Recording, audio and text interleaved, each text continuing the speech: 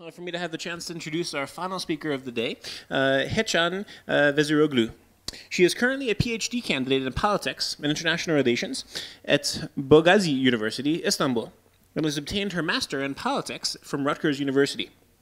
She's a freelance writer and a journalist, working for Hurriyet Daily News, Economic Review, Politics Online, and many, many more. In 2005, Heyecan Veziroglu gained a praise from the EU Commissioner Olli Rehn for promoting a positive image of Turkey abroad. She has also been a former advisor and protocol assistant to the President of Turkey. The topic of her paper is EU and Turkish communication strategies, the media, the media. Ladies and gentlemen, please join me in a very warm welcome for Heyecan Veziroglu. Thank you. Very happy to be here, and uh, I would like to really uh, thank uh, the organizers of this uh, conference. Um, I have been to many other events in the past, but this is very special for me, especially with this distinguished guest. And it was very amazing for me to hear such very stimulating presentations from all of you. So thank you. Um, the media coverage has many dimensions, you know, multi-dimensional impacts, like cultural, political, social, psychological. But, uh, you know, we have a cultural mindset, the Turkish cultural mindset versus the cultural mindset of European people. So uh, I also would like to recommend you the Susan Stern's book about the uh, German ways, uh, in which she talks about the uh, software of the mind. Uh, the, the, one of the Danish gentlemen, I think, uh, has talked about it, the software of the mind. unless we change software of the mind, we will not be able to have some sort of um, very efficient and sufficient communication um, strategies in the future, you see but it's an essential tool, uh, communication, for all segments of the society. As you know, you should have uh, very good communication skills, even with your partner, you know, otherwise you can't uh, communicate effectively. That happens with the states, with the countries, you know. We should know each other's um, habits, uh, behaviors, uh, behavior patterns, you know. Uh, so how do Turks and Europeans communicate? Misunderstanding, uh, understandings can result when journalists and reporters cannot analyze the different aspects of Turkish and European communities, you know. Uh, so what sort of a dialogue do we need? We need language training, cultural differences uh, to, um, you know, to um, have a common denominator, intercultural dialogue. Uh, we need a new definition of cultural diplomacy uh, in the region, especially in the Middle East and in the Arabic states, because this region has a specific significance, as we all know, but we need a new definition, maybe also, on the other hand, a new moment for Europe, for the European mindsets, so that we find uh, common denominators, but we should also find ways to uh, cope with our differences. That's how we become strong, you know. Um, uh, we believe European Union's reputation is the culmination of how such sort of differences and challenges are managed. Um, our target audiences for these communication strategies as writers, journalists, or sociologists, or uh, politicians, or bureaucrats, you know, the, it, our communication strategies and our target audiences are ambassadors, government officials, diplomats, civil society organizations, reporters, editors, news directors, and executives from um, business and nonprofit organizations. This is a multi-channel communication, and this is essential in our digital age, as you know. Uh, internet traffic has changed our society, our institutions, our culture. Um, and in, the, in a decade, um, I often like to have some speculations about the future. Uh, we will have some new faces in politics. In Turkey, I guess so, uh, and in the Middle East and in Europe as well. Because the young generation has great dynamism and uh, they can use internet technologies in this global digital age, but uh, we have to ha give them more chance and opportunities to be on the political stage uh, in an international level, of course, you know. Uh, if we, uh, as Turkish people and Europeans, convey the right messages to the right audiences, including print, broadcast, online communication, then we, um, we help uh, this communication uh, process, as you know. But Turkey should handpick the best practitioners, uh, practitioners in the bureaucracy, academia, and media. And I also would like to just briefly uh, mention about the uh, um, presence, uh, the presentation, um, the image of Islam. How do foreign media present Turkish imagery and Islam in Turkey in the context of Turkey's European Union candidature? How does Turkey's imagery and Islam roles are perceived in the European Union? These are just questions, food for thought, for uh, sort of brief discussions, you know. And I would like to know if what do you think about uh, do foreign media avoid discriminatory references to religious beliefs and avoid religious uh, stereotyping in the region? Um, I think this denotes particular attention. How is Turkey pictured? Portrayal of Muslim Turkey, portrayal of secular Turkey, and the foreign press coverage of women in Turkey. I think these uh, will position our findings within this debate. Um, I think the negative images of news coverage uh, were unfortunately presented during the 2000s, and um, a perceived trend of rising Islamophobia and its consequences in Europe, and uh, especially sometimes in US mass media. But this uh, is because of the misinformation of some sort of journalists and writers who write uh, in different uh, channels uh, in the media.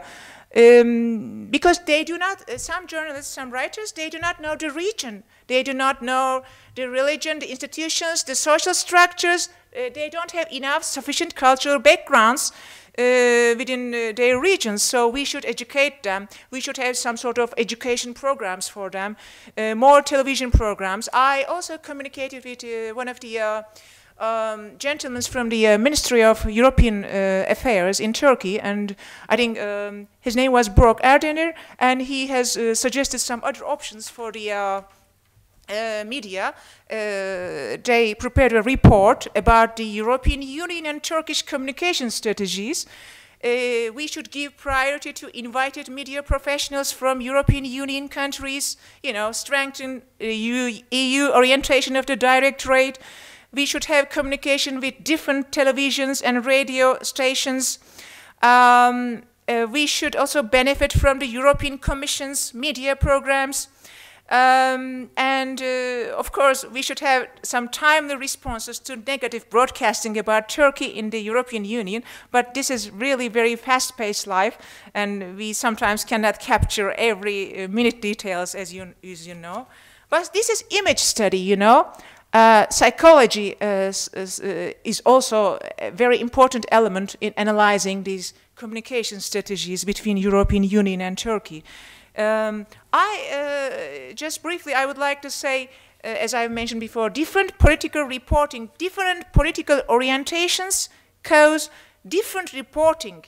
Uh, so it is very significant. I have to emphasize once more that an educated awareness within the media on issues related to religion or belief uh, is essential, you know. And um, Turkey's profile around the world uh, international public opinion is inevitably, uh, inevitably shaped by media coverage. Uh, so we should have really very um, a very rational, logical, um, efficient communication strategy. And um, I would like to say, just very uh, shortly, um, within the European mosaic, European debates reflect different actions across the European, you, you see, media companies, journalists should add the real face of Turkish policy with their frequently voiced arguments. Uh, Brussels uh, might have sometimes some image problems, so we have to uh, find a solution for these problems. Um, comments in the media have to be balanced and include pluralistic views.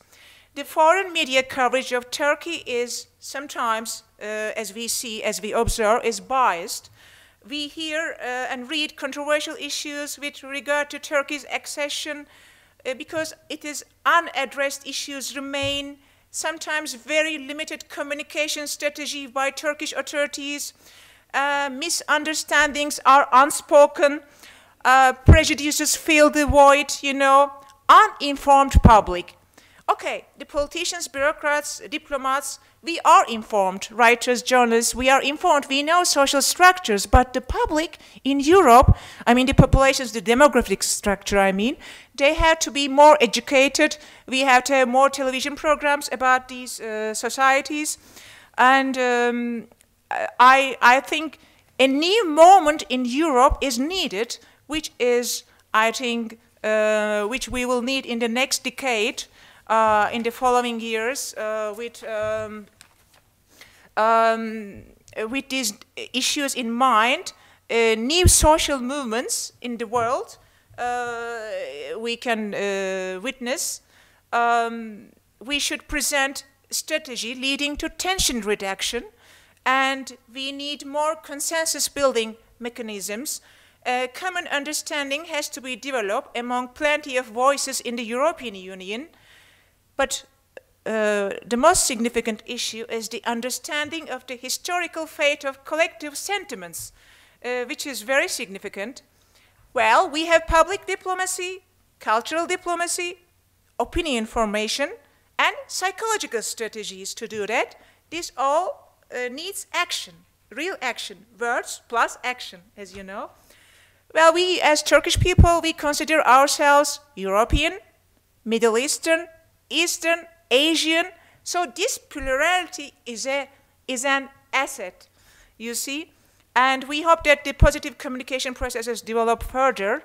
And um, I think uh, we have to have a multidimensional approach. And I also have another suggestion uh, about the communication strategy.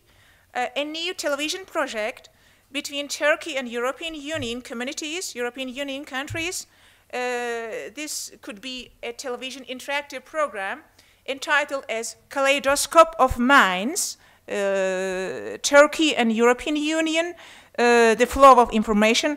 In each episode, we can try to bring different perspectives of people so that uh, from European countries and Turkey, we can conduct mega negotiations in video teleconference systems. But we should not judge too quickly um, to communicate effectively, uh, we should have a coherent strategy. Um, they say I have just a few minutes left, so I will just leave by reading one of my European poems, if you don't mind. Uh, my poem, one of my poems, because I'm a pacifist. I don't like wars, conflicts, you see. So this is, uh, war is so sour. I've been waiting so long on these stained wet payments. You have been whispering this blue song. We don't want to hear all these lemons. No stretched faces, no broken hearts. War is so sour for all these cases, ringing bells, singing poor yells, crowd of anger and hate. Is this our endless fate? Murmuring the hymns that ring loudly, angels are late for all these capricious sins, people. We people we sadly tear the paper of our fate, hear the unreachable truth. Why are the doors locked for peace? Thank you for your patience. Thanks a lot.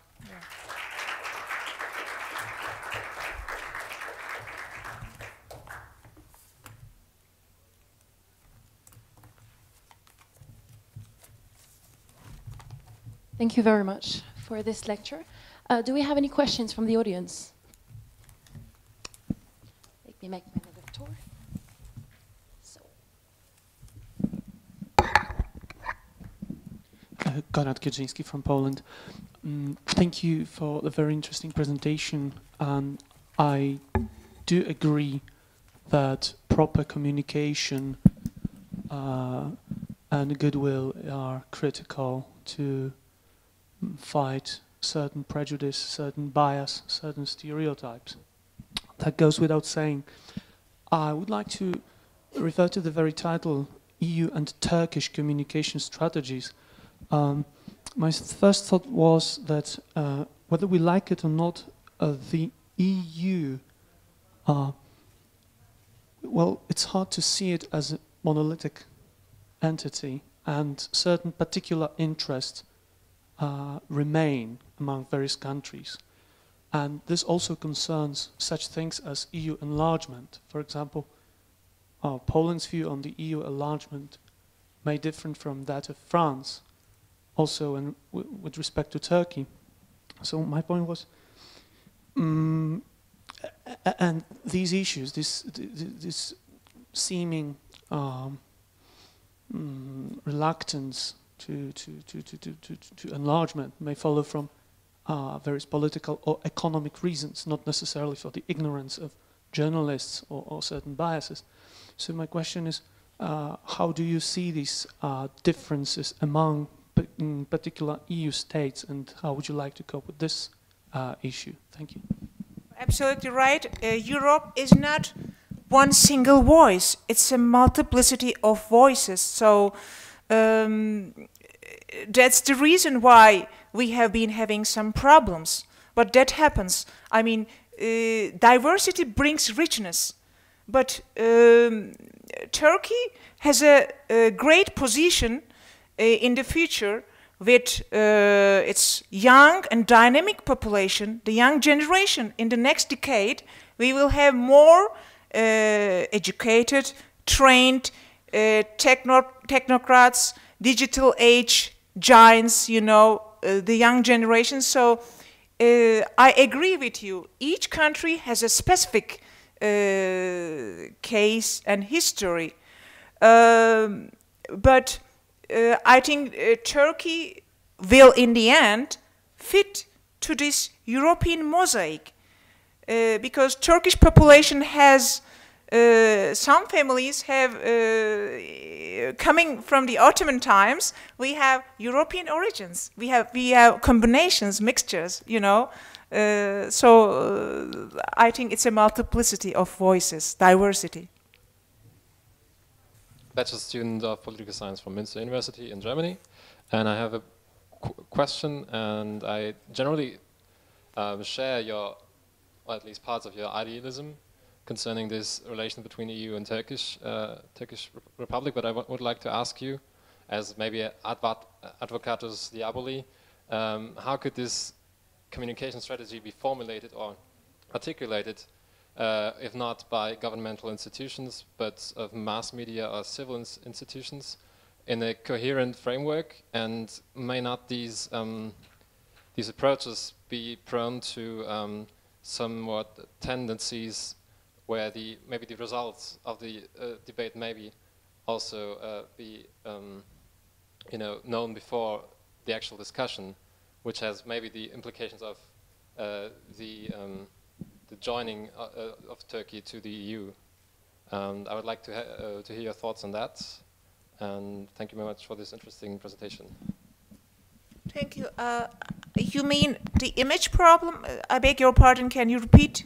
Just uh, in a very brief.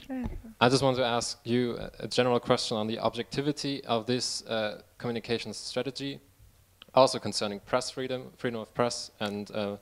intersubjectivity and objectivism uh, relations, and also the compati compatibility of uh, this approach to, you know, mass media rationales which want to sell maybe headlines and then at this. I don't really share this kind of approach, but just ask you as this advocatus diaboli. Sorry.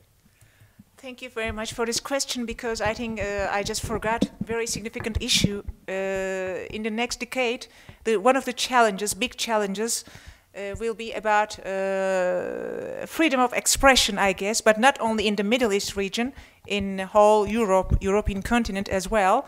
Uh, more uh, legal mechanisms uh, will be implemented within certain jurisdiction, you know. I think freedom of expression, very, very significant issue for not only for writers, for every speaker, you know. Thank you.